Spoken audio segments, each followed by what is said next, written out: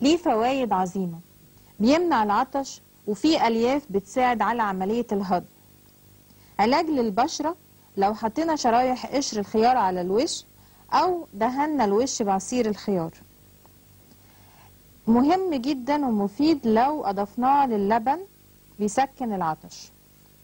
لو أضفناه للبن الحليب بيسكن العطش.